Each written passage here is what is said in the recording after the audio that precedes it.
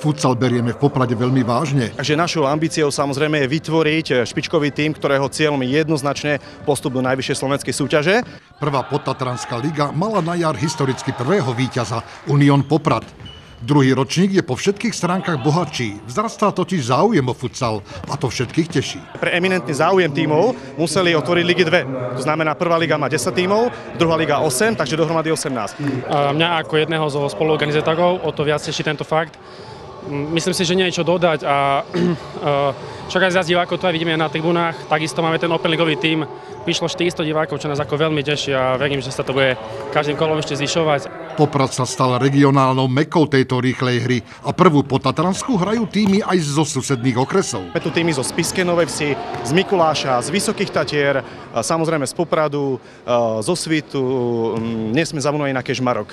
Takže skutočne tá liga má svoju kvalitu. A ešte v neposlednom rade aj Levoča. V prvom súboji sa stretol Slovanet v Zelenom s týmom, ktorý sa nazýva Orsák Veľká tým. V jeho radoch a nie len jeho hrajú aj stále aktívni futbalisti. Ak sa chalani stretneme, že vieme, máme kontakt ten s loptou, ja si myslím, že super spestrenie zimnej prípravy, takže chválim tento projekt a naozaj dobrá myšlienka. Sme rádi, že sú nakoniec dve ligy, keďže sa to posilnilo proti minulého roku. Možno o rok budú tri ligy, uvidíme, ako to bude nasledovať. Body do dlhodobej tabulky, pretože sa súťaž skončí až na jar, si pripísal Slovanet, keď zvíťazil 6-4. A dnešné víťazstvo nás teší, hlavne preto, že sme hrali len 5 proti 12. A určite rozhodla dnes naša trpezlivosť. A mali sme presnejšie prihrávky a vyťažili sme dnes fakt z minima maximum a tešíme sa tomu víťazstvu.